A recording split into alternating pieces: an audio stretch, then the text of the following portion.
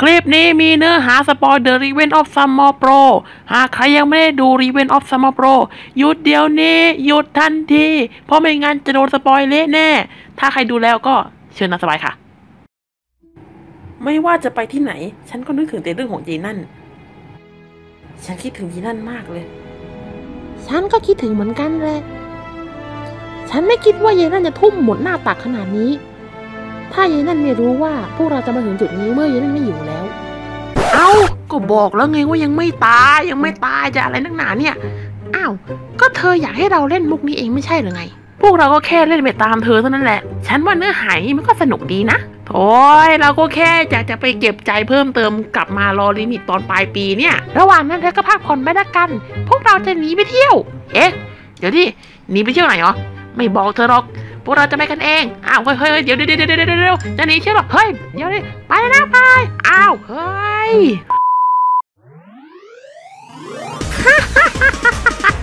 อ้าได้ปลอดภัยจากเย็นละวเว้ยอุตส่าห์เนี่ยมันเที่ยวถึงที่แบบนี้เลยนะเนี่ยยายนั่นจะต้องอิจฉาแน่ๆเลย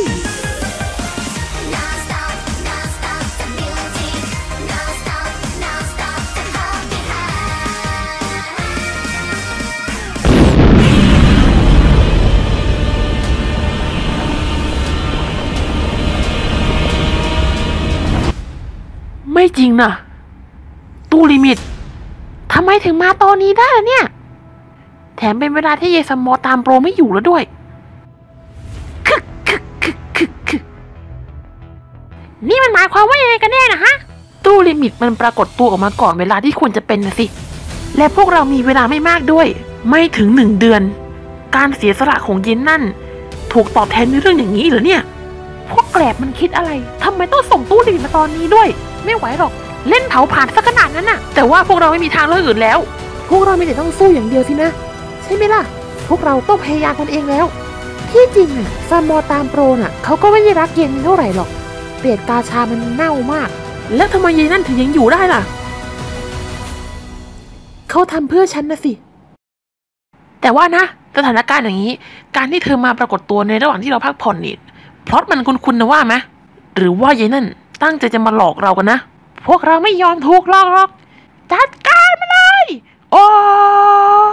อาจารย์อาจารย์อาจารย์นี่กลับมาจนได้ พวกนายทุกคนพร้อมแล้วใช่ไหม อืม พวกเราจะออกลุยเอง พวกเราจะต้องไม่ทำให้เย้นั่นผิดหวัง ถ้าอย่างนั้นแล้วก็ไปกันเถอะ แก๊งลุยหกสามมาโปรยาชเก